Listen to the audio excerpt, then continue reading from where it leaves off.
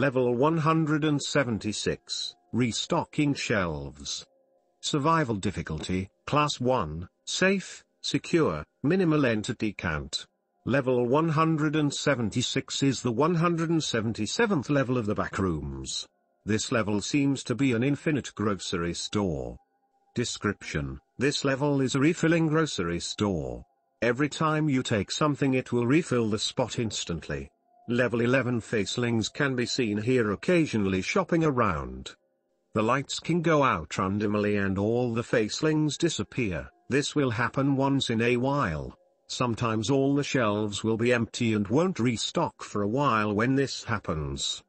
Radio static can be heard over the speakers and will fade from time to time.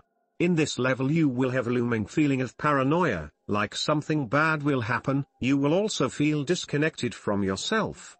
You can hear falling items on shelves, wind blowing, rain, thunderstorms, shopping carts, and footsteps following you. Sometimes you can feel people staring at you but no one is around. The checkouts will be empty and there's no staff.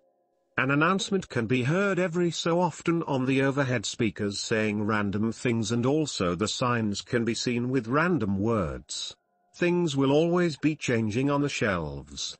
Rarely, you may find a door that says, Employees only, enter the door to get to the lounge. The lounge. The lounge is an area in level 176 which is a series of couches, and tables which seems to be an infinite hall. This hall's couches are safe to use, and sometimes you can hear chatter in the background. This place is very mysterious, and sometimes you can see human-like entities, for a split second in your vision. This place is safe to wander, and to set up a group, but there are none at this moment. Rarely, a door would be found that leads to a storage room, this storage room has a garage door, with a truck that comes and goes every time the food stocks are low, following this truck will lead to level 11. If you open the truck, no one is inside, and the truck will not start, but if you spend a long amount of time in this truck, you will pass out, and wake up on level 50. The shelves in the storage room are usually empty, with little food and drinks on its shelves, most likely due to them being in the main store. You can see items on those shelves disappear from time to time. These objects will appear on the shelves in the main store area. Bases, outposts and communities.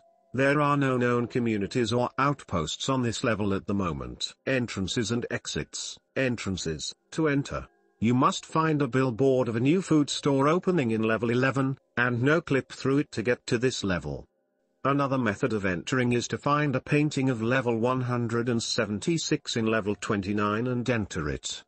You may also find a box of food in level 20, eat its contents to bring you to level 176. The food in the box is safe to consume. Entering a convenience store and waiting for a few hours in a staff room in level 138 can also lead to this level. Exits. To exit, you may find a hole in the bathroom area that will lead to level 34. If you find and read a food shipping list in the lounge area, you will end up in level 17, if you follow the truck while it is leaving. You will end up in level 11. Sighting in the truck for too long, will bring you to level 50. Finding a door with black goo will lead you to level 20. If you venture 100 miles into this level, the store will make a smooth transition into level 177.